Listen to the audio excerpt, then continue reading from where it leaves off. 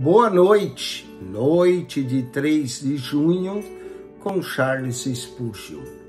Assim mesmo se humilhou, Filipenses capítulo 2, verso 8. Jesus é o grande mestre quanto à humildade de coração. Precisamos aprender com ele diariamente. Veja o mestre pegando uma toalha e lavando os pés de seus discípulos. Seguidor de Cristo, você não se humilharia? Veja como servo dos servos, e certamente você não poderá ser orgulhoso. Assim mesmo se humilhou. Essa frase não é o sumário de sua biografia? Não estava ele na terra sempre despindo primeiro um manto de honra e depois outro, até que nu foi preso à cruz?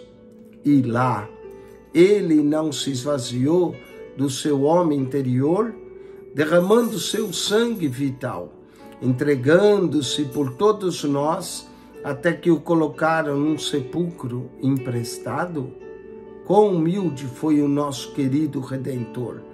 Como então poderemos ser orgulhosos? Fique aos pés da cruz e conte as gotas vermelhas pelas quais você foi purificado. Veja a coroa de espinhos, observe seus ombros açoitados, ainda jorrando fluxos vermelhos. Observe as mãos e os pés, entregue ao duro ferro e todo o seu ser entregue à zombaria e ao escárnio.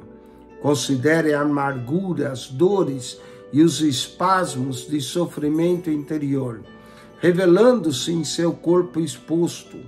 Ouça o grito emocionante: Deus meu, Deus meu, por que me desamparastes? E se você não cair prostrado no chão perante aquela cruz, é porque nunca viu.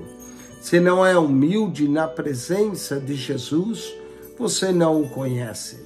Você estava tão perdido que nada podia salvá-lo, a não ser o sacrifício do unigênito Deus.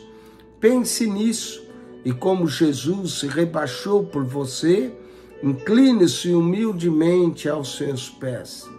Um sentimento de incrível amor de Cristo por nós tem mais tendência a nós quebrantar do que a consciência de nossa própria culpa.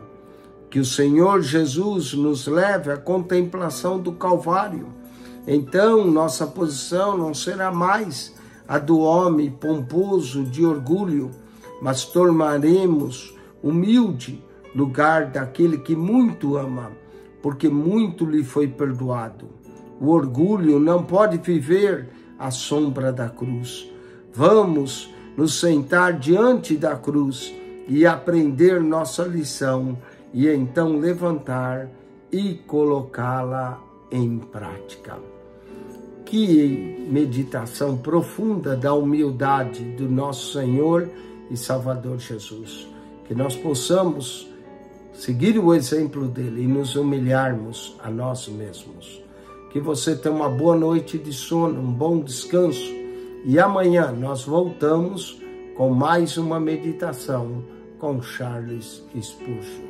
Manhã e noite com Charles Spurgeon, o seu devocional diário.